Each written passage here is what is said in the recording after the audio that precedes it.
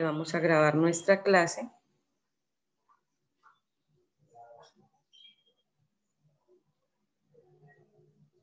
Bueno, listo. Bueno, ahí observan la guía. Sí, profe. Listo, bueno. Entonces, la guía está hablando de introducción a Windows NT Server. ¿Quién me puede leer el primer párrafo de la guía, por favor? Y vamos a hablar un momentico de lo que aparece allí.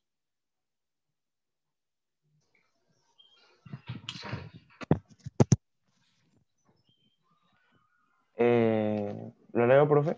Sí, claro, mijo. Gracias. Dice Introducción a Windows NT Server. Es un sistema operativo que ayuda a organizar la forma de trabajar a diario con la PC. Las letras NT significan nueva tecnología.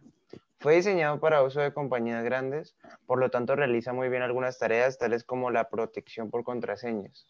Windows actúa como su ejecutivo personal, personal de archivo, mensajeros, guardias de seguridad, asistentes administrativos y mantenimiento de tiempo completo. Lo que Windows NT no hace bien son los juegos y la multimedia, ya que no ha sido creado para tales usos. Bueno, entonces vamos a mirar, por ejemplo, ahí hay algo muy importante, ¿sí? Eh, ahí nos está hablando que Windows está actuando como un ejecutivo personal de archivo, o sea, es como un controlador, es como un administrador, ¿cierto? Dice que, dice que en sí consiste, es un guardia de seguridad, o sea, la seguridad de nuestro sistema operativo, sobre todo para trabajar en grupo, es supremamente importante. Tiene asistentes administrativos y de mantenimiento, ¿sí? Entonces, ahí falta una partecita, me gustaría que tomaran nota de lo que yo les voy a, les voy a dictar acá. Entonces viene, por ejemplo, em, me gustaría que encendiéramos todos ya nuestras camaritas porque estamos grabando nuestra, nuestro, nuestro, nuestro trabajo. Entonces, bueno, en esta parte es importante que tengamos en cuenta lo siguiente. Ahí habla, ahí habla de administradores, ¿sí? Entonces, tomemos nota. Viene el administrador eh, central. los administradores, eh, pues prácticamente son los modelos eh, administrativos. Pueden ser pequeños, pueden ser grandes, pueden ser complejos pero definen, definen nuestras escalas y definen nuestro rango de nuestro sistema operativo. Ahora, por ejemplo, habla de la administración central, habla de administración distributiva, habla de la administración mixta. Cuando la administración central, eh, habla de la configuración física de un servidor que llega con terminales brutas, ¿sí? En la, eh, dice que maneja también eh, una organización pequeña o mediana. Eso en la parte central. Si quieren pueden tomar nota de ese, de ese apunte.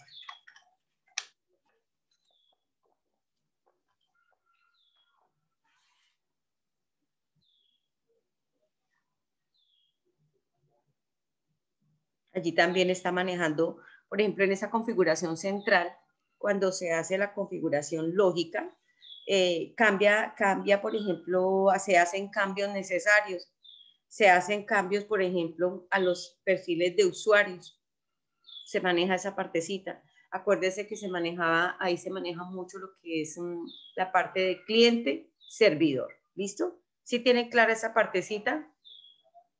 ¿Se acuerdan cuando nosotros trabajamos esa, ese tema de los perfiles y de los usuarios? Aquí llegó Ruiz Clay, vamos a darle la, el paso. ¿Me permiten un momentico que tengo notificación de coordinación, por favor?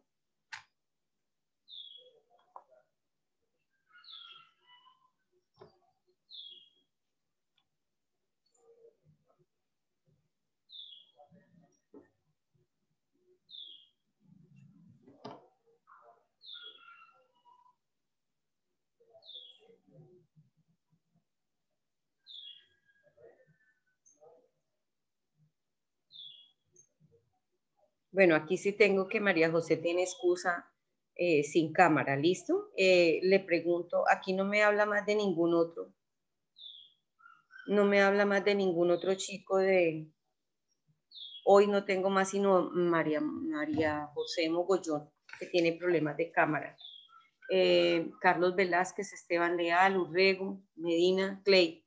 Si tienen alguna inquietud, alguna novedad de cámara, por favor reportenla con coordinación para que quede excusada.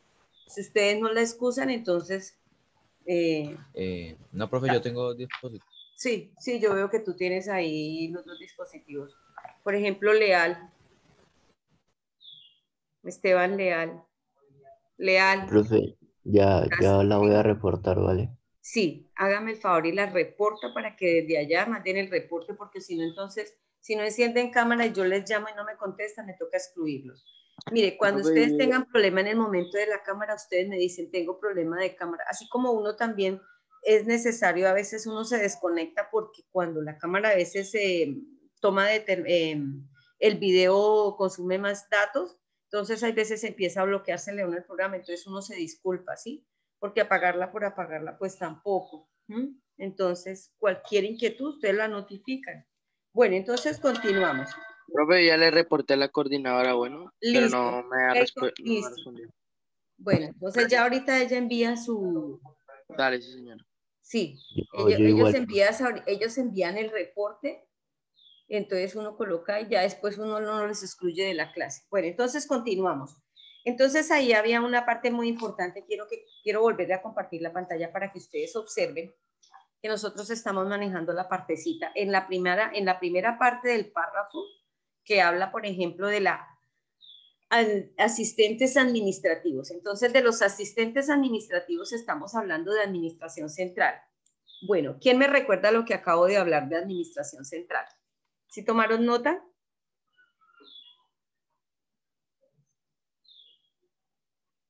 En la parte de la configuración física se puede manejar como un servidor y varias terminales brutas, ¿sí? El servidor, ¿en qué consiste el servidor? El servidor, eh, por lo regular, es un computador inteligente. El computador inteligente consta de disco duro, consta de complementos eh, óptimos de software, eh, también, por ejemplo, componentes óptimos de hardware, ¿sí? Para que sea un servidor completo que maneje y administre la información. Las terminales brutas, por lo regular, son aquellas terminales que tienen una función única y exclusivamente entregan información, no más, ¿sí? Únicamente entregan información. Supongamos, vamos a dar un ejemplo. Llegamos a X biblioteca vamos a un computador central y le decimos a la biblioteca que nos dé, por ejemplo, eh, nos hable de los autores de determinados libros o preguntamos por los títulos de los libros, ¿sí? Nos da los autores. Simplemente nosotros estamos recibiendo esa información porque la biblioteca se ha designado única y exclusivamente para entregar ese tipo de información. No más, no más, ¿sí? Esas son las terminales brutas. Las terminales brutas solamente constan en la parte de hardware de una pantalla, un teclado y un mouse, no más. ¿Sí? En la parte de software es completamente limitado. Simplemente está puesta la información que la biblioteca entrega, no más. ¿Listo? ¿Queda clara esa partecita? ¿Alguien tiene una pregunta sobre eso? Eso en la parte de administración central. ¿Listo? ¿Sí tomaron nota de esa parte? ¿O les repito? ¿Me podría repetir la parte del hardware? ¿Me podría repetir la, parte bueno, entonces, estamos hablando aquí, aquí nosotros en la parte de la guía, donde habla de que, en, la, en el primer párrafo, ¿no? Habla de que el, su, Windows actúa como su ejecutivo personal, de archivos, mensajeros, guardas de seguridad, asistentes administrativos y mantenimiento de tiempo completo. Entonces, estamos hablando de los asistentes administrativos. Entonces, en la parte de los administrativos tenemos la administración central. En la administración central decimos que es un servidor, o sea, un computador inteligente que va conectado a diferentes terminales brutas, ¿sí? Pero en una organización pequeña o mediana, una biblioteca podría ser una organización pequeña, si es muy grande, pues sería mediana, ¿cierto? Ese como una parte de administración central. Ahora venimos a hablar, por ejemplo, de la administración distributiva, distribuida o distributiva, que también eh, se administra por grupos de trabajo y su configuración lógica va con administradores de niveles. el grupo de trabajo en red y, la, y ahí se maneja, por ejemplo, la política, las políticas que manejan el grupo o el sistema de trabajo. ¿Listo? O sea, se distribuye, se distribuye el trabajo. El grupo de trabajo define cómo lo va a trabajar y cómo lo va a desarrollar. ¿Sí? Ustedes lo pueden ver, por ejemplo, en su grupo de trabajo de, en, la, en la parte donde ustedes manejan sus lenguajes. ¿Sí? Que ustedes están trabajando y hay un servidor principal que les está guiando y les está viendo el sistema de trabajo cuando están en la sala con el ingeniero, ¿no?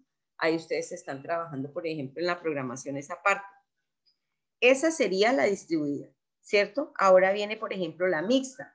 La mixta eh, em, se necesita, por ejemplo, en la mixta se pueden manejar, permite, permite que se manejen dos o más sistemas operativos en un servidor. ¿Listo? Bueno. Em, también entra, por ejemplo, eh, se manejan los grupos de, los grupos de usuario, eh, se, se, delegan funciones para el trabajo, teniendo en cuenta el cliente servidor, ¿sí? Em, más o menos es, entran las dos, las dos administraciones en una sola, en la parte de la mixta. Eh, bueno, más o menos así. ¿Sí? Bueno, ahora viene, por ejemplo, Aquí habla de que,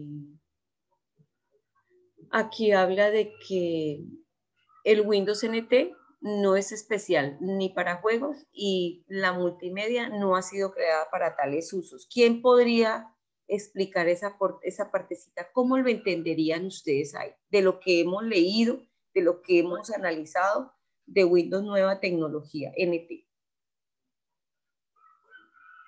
Pues creo yo que Windows NT se hizo para, pues ahí lo dice, para grandes empresas y compañías, eh, simplemente pues para manejar la parte ejecutiva y, y rápida en, ese tipo de cosas, de pasar información rápida, y, pero me imagino que en el caso de multimedia y juegos y cosas así como que consumen ya demasiado, no, no fue creado, sino simplemente para uso ejecutivo y de compañías.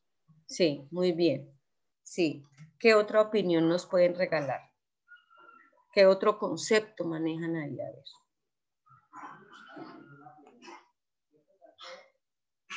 Acuérdense que en la guía las palabras tienen un enlace. Entonces pican ahí y ahí les los lleva al, al enlace.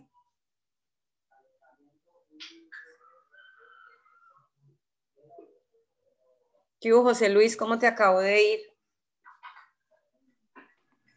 Buenos días, profe. Qué pena entrar tarde. Es que el computador no tenía batería. Sí. No encontraba el cargador. Bueno, lo importante es que ya estás en clase, ¿no? Y participan de la clase porque esta semana estamos en evaluaciones. ¿Listo? Bueno, a ver, por ejemplo, Shirley. Shirley, ¿tú qué opinas de lo poquito que hemos leído, que has entendido?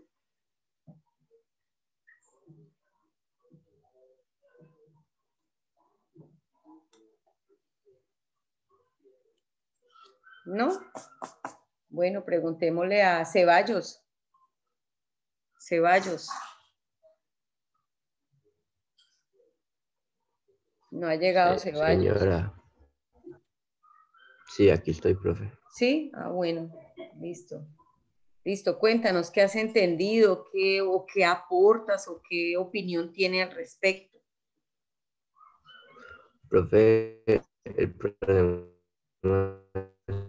Profe, yo le que no estoy casi, me tengo, y tengo el internet muy malo.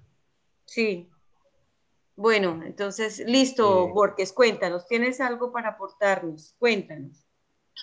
Eh, muy parecido a los Mateo, pero acá dice que el Windows es un servidor que es más para, para específicamente para, para servidores ampliable, ampliables o independientes de la plataforma pueden ejecutarse en sistemas basados en procesadores Intel x86, RISC y DEC Alpha, ofreciendo al usuario mayor libertad de la hora de elegir sus sistemas informáticos. Entonces ahí eh, los juegos están pidiendo mucho mayor rendimiento, entonces por eso el NT no sirve. Sí. Está diseñado más para, para lo que sea, Mateo, para las empresas y para, sí, para ejecutarse en empresas. Sí, correcto, sí. O sea, es un sistema, no es un sistema operativo común y corriente como el que tenemos, eh, que es, eh, es, mucho más fácil, eh, mucho más sencillo para manejar, para utilizar variedad de recursos, ¿sí?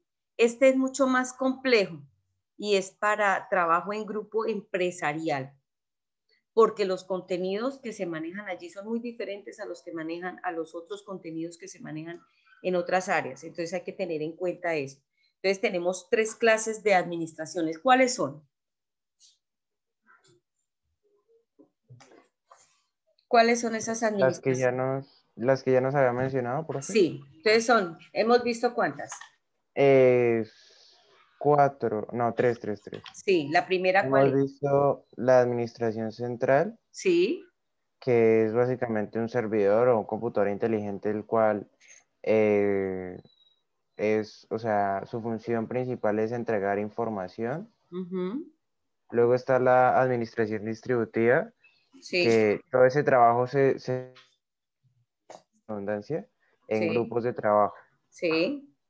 Luego la mixta que dice, pues si usted dijo, profe, que permite que se manejen dos o más sistemas operativos en un servidor. Exacto, sencillo. Esos son los, esos son los, los, mm, los complementos eh, básicos de cada una de ellas. ¿Listo? Bueno, vamos a volver a la guía eh, y vamos a complementar. Entonces aquí vamos a la siguiente partecita.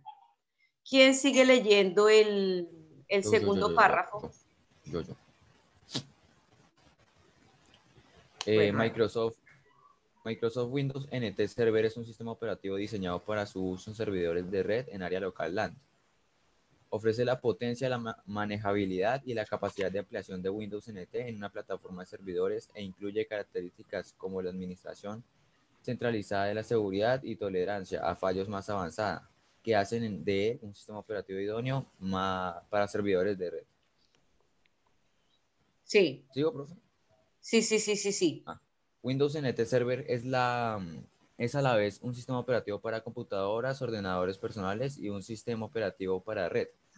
Puesto que incorpora funciones de red, las redes de Windows NT Server se integran de forma óptima como el sistema operativo básico, facilitando el uso y administración de las funciones.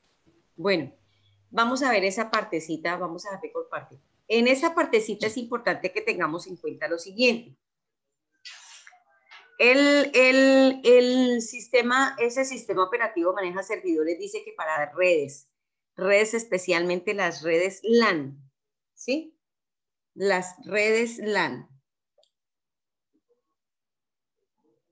¿Quién puede definir red LAN? ¿Se acuerdan de las tres clases de redes principales que se manejan en el sistema? Eh, la LAN es la que conecta uno más ordenadores dentro de un ámbito pequeño y limitado. Exacto, o sea, se llama red de área, ¿cómo se llama? Se llama red de área local, ¿cierto? Que está hablando de, ámbitos pequeños. Vamos a poner un ejemplo. ¿Alguien sabe darme un ejemplo de la red LAN? Pues, ¿Quién podría... haga como una, como un análisis así. Eh, dice que la red LAN es una red de computadoras que abarca un área reducida a una casa, un departamento o un edificio. Exacto. Define la estructura de una red eh, y una parte de la definición topológica. Sí. Bueno, vamos a, vamos a decir, vamos a, vamos a colocar un ejemplo. ¿Cómo, Carlos? Que se podía transmitir a, a través de un cable de internet. Exactamente, sí. Sí. Hay que tener en cuenta también esa partecita. Supongamos eh, lo, que, lo que se maneja, supongamos, en la... ¿Cómo? ¿No te entiendo?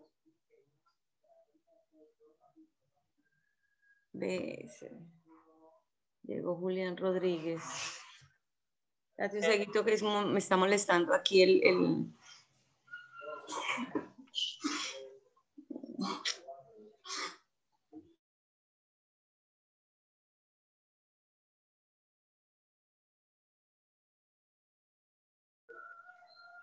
En esta parte podríamos colocar un, un ejemplo. Podríamos decir por eh, eh, la sala, eh, un servidor o computador principal. Em, coloquemos la oficina del primer piso, ¿cierto? Allí hay un dispositivo especial, un servidor importante, y este está controlando, un ejemplo, está controlando, controlando todos los equipos de la sala 1 y está controlando todos los equipos de la sala 2, ¿sí? Ese servidor está controlando cada uno de los computadores que hay allí, a pesar de que todos esos computadores podemos definirlos como computadores inteligentes, ¿sí? Pueden ser terminales. Tengamos en cuenta que las terminales no necesariamente son brutas, o sea, que se compongan de una pantalla y un teclado o un mouse, no. Las terminales también pueden ser inteligentes, que se componen de todos los equipos necesarios para trabajar y para desarrollar la información, almacenarla, distribuirla, eh, se convierte también en un administrador de servidor, ¿sí? Esa es una terminal inteligente a diferencia de una terminal bruta, ¿sí? Bueno, ¿qué más opinan ahí de esa partecita de las redes LAN? ¿Alguien puede dar otro ejemplo de la red LAN? Profe, yo. A ver, bueno, háblame durito que yo te escuche. Una red doméstica, una red de tienda, una red pública en una plaza, Sí. Correcto. ¿Quién más da otro ejemplo? Profe, dice acá que también no solo hay redes LAN, sino está la red, red MAN y la red WAN. Bueno, háblanos, háblanos eh, de la red MAN. Pues dice que la red MAN consiste eh, ya en unas siglas en inglés que son red de área metropolitana. Sí, correcto. Ya que se trata de una red de alta velocidad que brinda cobertura a un área geográfica más extensa que una LAN. De hecho, contiene varias de ellas, pero aún así concreta y definida como una porción de una ciudad. Sí, muy bien. ¿Podríamos dar un ejemplo, Clay? Un ejemplo. Pues, o sea, ya es, sería como, mm, pues sí, como que ya es como una red que es más extensa digamos, como la comunicación entre, pues digo yo, ¿no? Como la comunicación entre que hacen con las aerolíneas. Sí. Eh, que son ya a gran escala con los aviones y todo eso. Sí. Bueno, estamos hablando de que una red de área metropolitana, un ejemplo, vamos a colocar un ejemplo así por decir algo. Em, los carros, eh, por ejemplo, la oficina de tránsito, ¿sí? La oficina de tránsito los carros que, mm, que, por ejemplo, pagan el impuesto aquí en Villavicencio, ¿sí? Están registrados en una base de datos. Esa podría ser una red de área metropolitana, ¿sí? Donde, donde esta empresa, esa, supongamos, ¿no? Supongamos, donde esta empresa solamente está administrando eh, los datos de esos, eh, de esos vehículos de la ciudad. Entonces se van, van a decir, ah, sí, los vehículos de la ciudad, tantos vehículos, tantos están a paz y salvo o tantos no están a paz y salvo. Esa podría ser un ejemplo de red de área metropolitana, o sea, la, la, la MAN. ¿Listo? Muy bien, Clay. ¿Qué más nos podrían aportar ahí?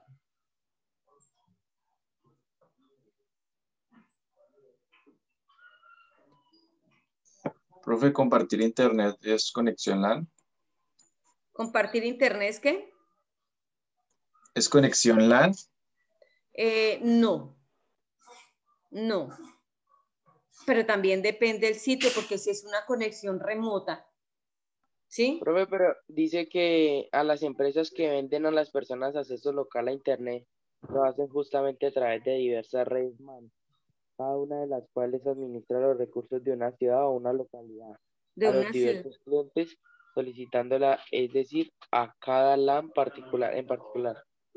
O sea, ya es, por ejemplo, la, este, la, eh, la, la, la conexión de los nodos, ¿cierto? Ahí ya, ya entra, por ejemplo, la conexión de los, de los nodos con esa red, para que, por ejemplo, eh, de un punto determinado se está manejando la información y se traslada a la ciudad a un punto determinado. Eso ya es, por ejemplo, va con, va con, ¿con qué? Con conexión de punto a punto, ¿sí?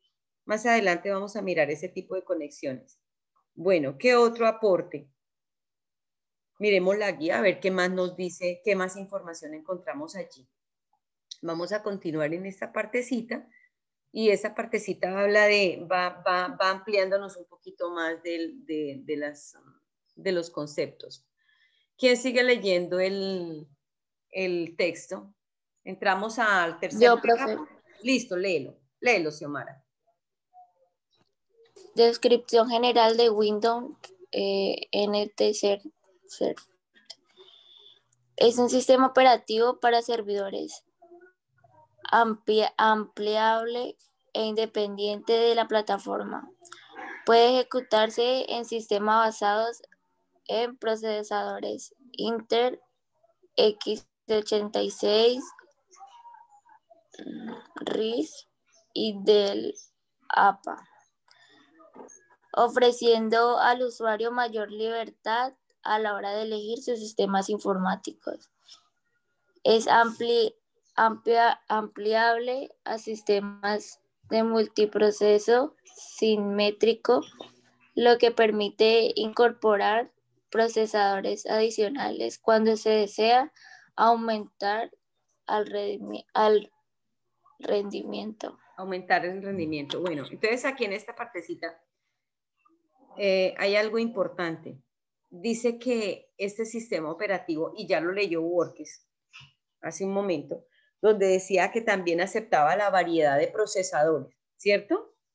Dice que los procesadores Intel, que los RIC, que los AMD. Entonces, existen una gran variedad de procesadores y los está aceptando. También dice que tiene la, el usuario tiene la libertad de elegir sus sistemas. Acordémonos que también permite eh, manejar dos o más sistemas operativos, ¿cierto? Ese es un aspecto importante. Em, otra partecita que habla ahí, otra partecita que habla ahí en ese, en ese, aquí les vuelvo a compartir, la parte importante que dice acá. Eh, fácil uso, ¿sí? Em, es un multiproceso simétrico, lo que permite incorporar los procesadores adicionales cuando se desea aumentar el rendimiento o sea que uno, un servidor puede trabajar más de un procesador, ¿cierto? Esas son características muy importantes del sistema eh, operativo nueva, NT Nueva Tecnología, ¿listo? Bueno, sígame leyendo ahí, hágame el favor. Vamos a bajar un poquitico más acá.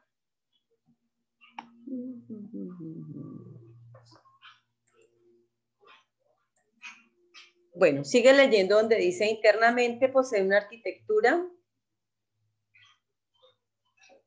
de 13 bits. Su modelo de memoria lineal es de 32 bits. Elimina los segmentos de memorias de 64 kilobytes. Kilobytes y la barrera de 640 kilobytes de del MS2 básico. ¿Se acuerdan que el, ese MS2 es el sistema operativo básico? ¿Se acuerdan? El que, el que se maneja con, eh, con, el que se maneja con la pantalla oscura y con los comandos a partir de la unidad o del PRO. ¿Se acuerdan?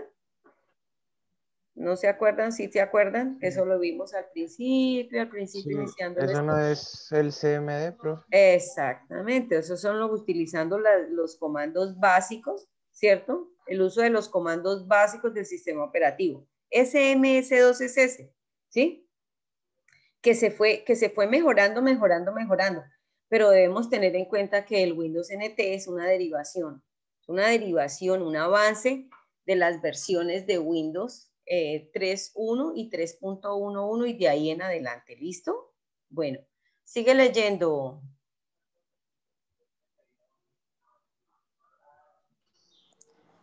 Posee múltiples triad,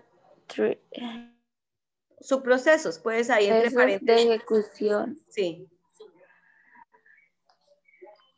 lo que permite utilizar aplicaciones más potentes. La protección de la memoria garantiza la